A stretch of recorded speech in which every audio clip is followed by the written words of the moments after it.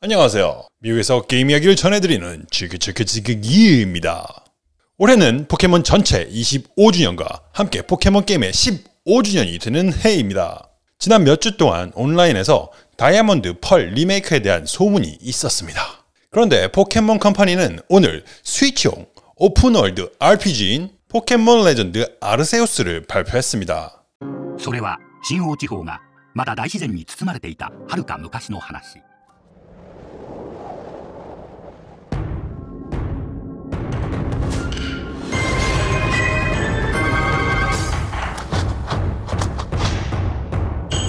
그리고 기다리던 포켓몬 다이아몬드 펄 또한 닌텐도 스위치로 리메이크 된다는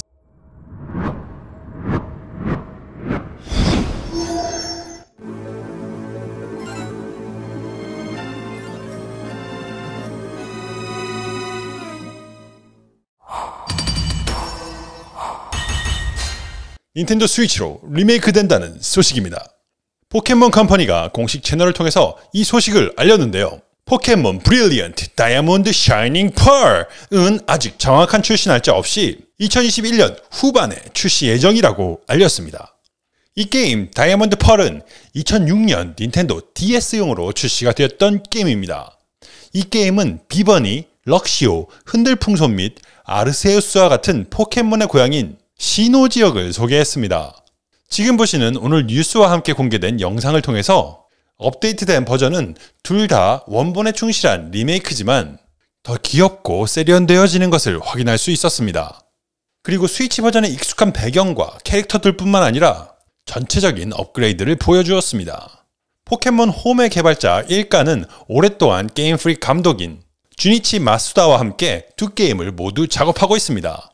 제가 있는 미국에서는 내일 27일 오후 6시에 한국 시간 28일 아침 8시에 포켓몬데이 기념 행사를 미국의 유명 가수 케이티 페리와 포스트 말론이 등장하는 가상 콘서트로 축하할 예정입니다. 다음 어제 소식에 콜 오브 듀티 블랙옵스 콜드워와 워존을 함께 설치하려면 대략 470GB의 용량이 필요하다는 소식을 전해드렸습니다.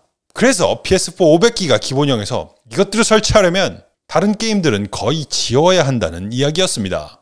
그런데 플레이스테이션 5에는 게임, 앱 및 미디어를 저장할 수 있는 825GB 실제 사용 가능 공간이 667GB의 맞춤형 SSD가 함께 제공됩니다. 최신 콜 오브 듀티 게임에는 133기가의 설치 공간이 필요하고 대부분의 주요 타이틀은 각각 최소 40GB를 차지합니다. 개개인의 차이가 있긴 하겠지만 그렇게 여유 있는 크기의 저장 공간은 아닙니다.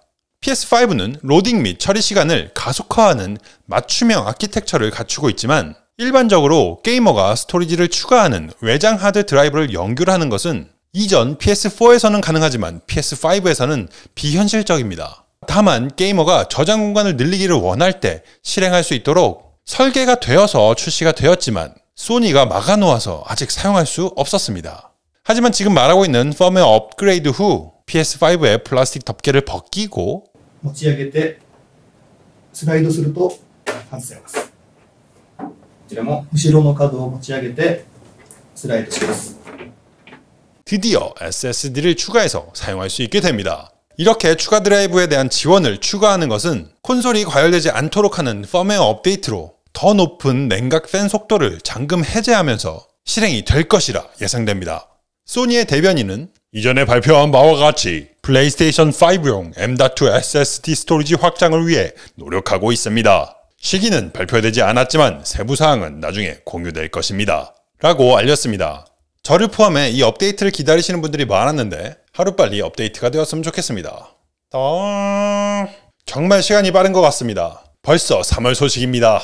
플레이스테이션에서 플레이스테이션 플러스 3월 무료 게임을 알렸습니다. 파이널 판타지 7 리메이크, 마켓, 파포인트 및 렘넌트 From the Ashes의 PS4 버전이 2021년 3월 플레이스테이션의 플러스 게임이라고 밝혔습니다. 발표된 4게임 모두 3월 2일부터 PS 플러스의 구독자에게 무료로 제공될 예정입니다. 이번 발표에서 중요한 점은 파이널 판타지 7 리메이크의 PS 플러스 버전이 PS5에서 파이널 판타지 7 리메이크 인터그레이드로 무료 업그레이드를 제공하지 않을 것이라고 했습니다. 파이널 판타지 7은 1997년 출시되었던 게임을 2020년에 리메이크한 게임입니다. 물론 이 PS4 버전이 올해 후반에 나올 새 버전으로 업데이트는 안 되지만 당연히 PS5에서도 즐기실 수 있습니다. 마켓은 그레이스풀 DK와 안나푸르나 인터랙티브의 PS5를 위한 아름다운 퍼즐 게임으로 PS 플러스에서 데뷔할 예정입니다. 렘넌트 From the Ashes는 2019년 출시된 게임으로 다크 소울에서 영감을 받은 슈팅 게임으로 충격적이고 기괴하지만 동시에 흥미롭고 아름다운 협동 액션 RPG라고 평가되었습니다. 파포인트 VR은 PSVR을 이용한 시점 전환과 슈팅 컨트롤러를 이용한 이동과 총구 방향을 맞춰서 전투하는 PSVR 전용 FPS 게임으로 2017년에 출시된 게임입니다. 참고로 3월 1일까지 2월에 무료 PS 플러스 게임 2개, 컨트롤 얼티밋 에디션 및 콘크리트 지니를 다운로드 할 수 있지만 디스트럭션 올스타즈는 4월 5일까지 무료로 다운로드 할 수 있습니다.